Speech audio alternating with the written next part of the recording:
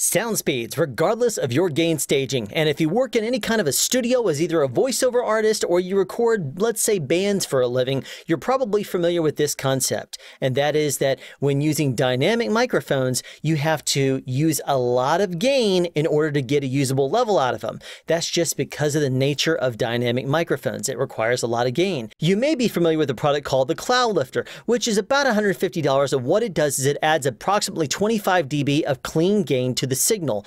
The way it does this is it uses phantom power and adjusts the impedance just a little bit in order to create that gain structure. But there's a company out of Holland and their name is Triton Audio and they have a whole line of products that adjust the gain depending on your needs. So if you want something similar to the Cloudlifter and it adds about 22 dB of gain in much the same way, go for the Fethead. If you have a condenser microphone, well, geez, you got to go for the Fethead Phantom. And if you want to attenuate your audio, then you're going to go for the Airhead. But wait a second, back up, because today we're going to be testing the Fethead Phantom, which works in much the same way as the Fethead, except that it is for condenser microphones.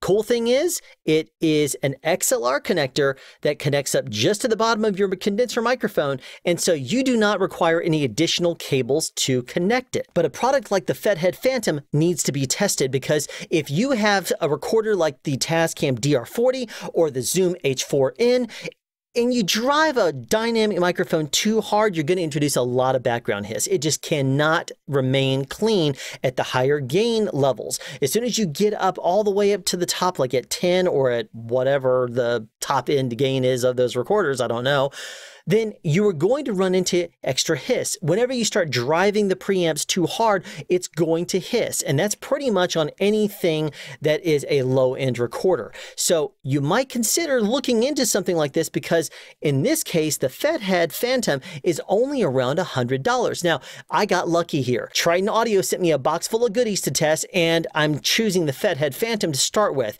And no, I didn't buy it, but I definitely want you to see it because of what it could do for you. Now, there's a lot of testing that we could do with the Fethead Phantom, but let me tell you about what we're doing today. I'm going to take two AKG C4000B microphones. I use them for recording gunshots on the shows I work on.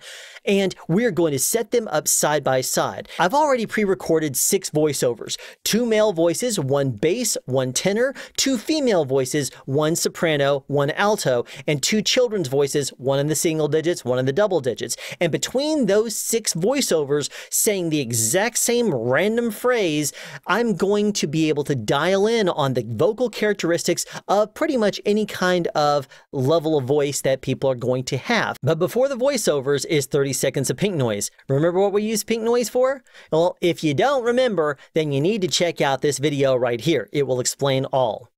But what I did with this is I played the pink noise through and then the six voiceovers and recorded it with both of my microphones. Even two microphones that are identical in make and model number are going to vary a little bit in tonal quality. And that's just the nature of microphones and the manufacturing process.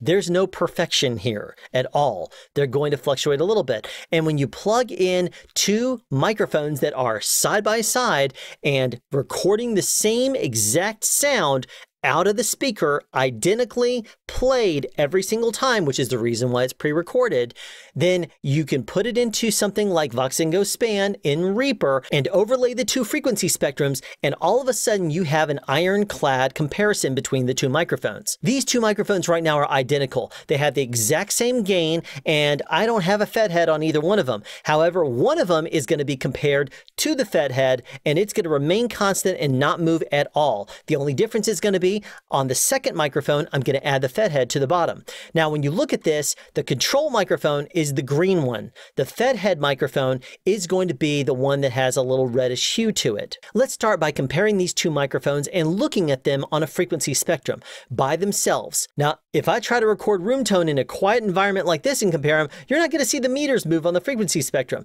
So what I chose to do is leave the door open to get the washing machine going and to leave the air conditioning on so that way you heard a little bit of something in the background. Check it out. The microphones themselves are not a perfect match. So notice here that on the pink microphone, there's a little more low end below 100 Hertz than there is on the green microphone. By looking at and listening to the exact same sound at the exact same time, you know how these two microphones size up to each other. This is a control. They're both identical. Their settings are identical. Everything is identical on these two microphones, but their tonal quality is slightly different. But for our test today, we're going to use these two microphones even though they're not a perfect balance. Now for both the control and the FetHead version of this test, I recorded at three different audio levels, 65 dB, 75 dB, and 85 dB. I'm going to overlay all of them on the screen right now with the pink noise. There's not much difference at any audio level, 65, 75, or 85 dB, between the control and the FetHead version. They're pretty identical. The frequency spectrum on this pink noise is pretty similar. And there's not very much difference depending on the volumes. Regardless, across the span of all of them, it did not sound that different. Here's the bass voice. The bass voice is very prominent. There's a lot of low end to it, but you don't see a whole lot of change going on here. Jackdaws love my big sphinx of quartz. Jackdaws love my big sphinx of quartz. Pack my box with five dozen liquor jugs. Pack my box with five dozen liquor jugs. The quick onyx goblin jumps over the lazy dwarf. The quick onyx goblin jumps over the lazy dwarf. How razorback jumping frogs can level six peaked gymnasts. How razorback jumping frogs can level six peaked gymnasts. They are still very much the same. It sounds very good on both of them. Here's the tenor voice, and as you can tell from the tenor voice, there's not much difference here either. Jackdaws love my big sphinx of quartz. Jackdaws love my big sphinx of quartz. Pack my box with five dozen liquor jugs. Pack my box with five dozen liquor jugs. Even with the female voices, when you listen to the alto voice, The quick onyx goblin jumps over the lazy dwarf. The quick onyx goblin jumps over the lazy dwarf. How razorback jumping frogs can level 6 peaked gymnasts. How razorback jumping frogs can level 6 peaked gymnasts. the same thing with the soprano voice. Jackdaws love my big sphinx of quartz. Jackdaws love my big sphinx of quartz. Pack my box with five dozen liquor jugs. Pack my box with five dozen liquor jugs. Moving on to the double digit child, Jackdaws love my big sphinx of quartz. Jackdaws love my big sphinx of quartz. Pack my box with five dozen liquor jugs. Pack my box with five dozen liquor jugs. and the same holds true with the single digit child. The quick onyx goblin jumps over the lazy dwarf. The quick onyx goblin jumps over the lazy dwarf. How razorback jumping frogs can level six peaked gymnasts. How razorback jumping frogs can level six peaked gymnasts. It doesn't matter if it's a control or if it's the FetHead version, it's going to be the same. Here's the trade off though approximately 18 dB of clean gain for your condenser microphones in exchange for a modification of the impedance to around 3000 ohms. Usually it's fluctuating between about 75 and 250. No, it doesn't hurt your microphone at all, but sonically, if you can hear the difference and you're not willing to make that trade, then you can just simply gain up your microphone about another 18 decibels, drive your preamp a little harder, and then deal with the extra noise floor. But how much noise floor?